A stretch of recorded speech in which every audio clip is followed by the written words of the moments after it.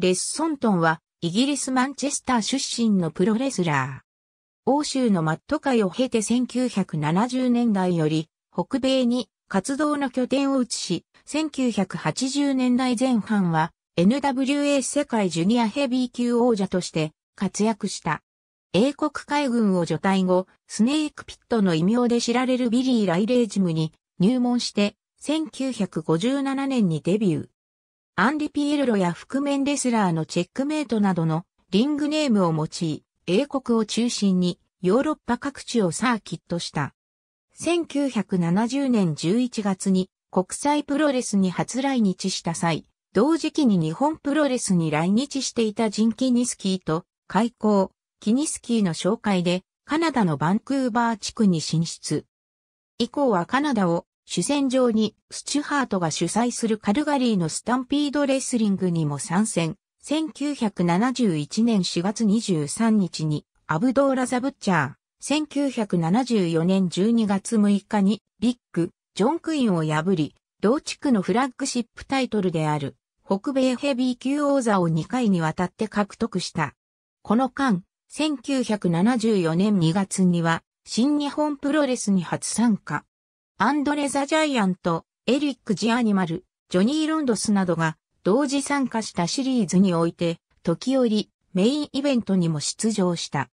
1970年代半ばからは、アメリカ合衆国の NWA 圏にも進出、1975年5月16日にロサンゼルス地区でドン村子からアメリカスヘビー級王座を奪取している。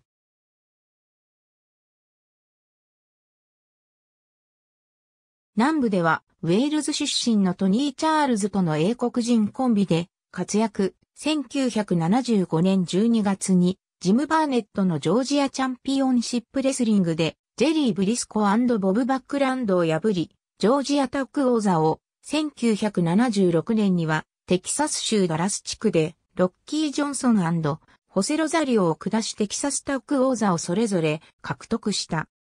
太平洋岸北西部のパシフィックノースウエスト地区では、ムーンドッグメインとの異色コンビで1977年6月4日にジェシー・ベンチュラーバディローズから同地区認定のタッグ王座を奪取している。1978年にはイギリス連邦のニュージーランドにて大英帝国ヘビー級王座を獲得した。1980年3月、レロイ・マクガークがプロモートするオクラホマ地区にて、NWA 世界ジュニアヘビー級王座を獲得。当時、マクガークは同王座の運営権を占有するなどして、NWA の反主流派と呼ばれていたプロモーターたちと反目していた。そこで、反主流派は、前王者ネルソン・ロイヤルの引退に伴い、スティーブ・カーンを新王者に認定。ところが、これにことを唱えたマクガークも1980年2月11日に、オクラホマで王座決定トーナメントを決行。一時期は2つの NWA 世界、ジュニアヘビー級王座が混在するなどの事態を招いたが、最終的にはマクガーク版のタイトルの正当性が認められた。以後は世界ジュニア王者としての防衛サーキットを開始。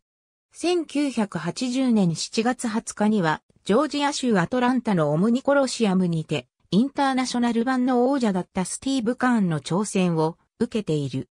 その後も、ケビン・サリバン、リッキー・モートン、スタンレーン、ジム・ガービン、スコット・マギー、ホセ・ストラーダなどを相手に、各地で防衛を続け、11月には全日本プロレスの世界最強タッグ決定リーグ戦に、ビル・ロビンソンとのヨーロッパ代表チームとして参加した。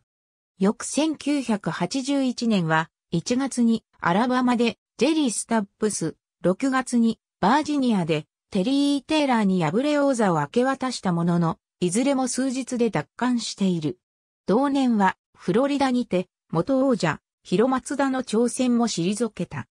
1981年7月、全日本から矛先を変えて新日本プロレスに久々に登場。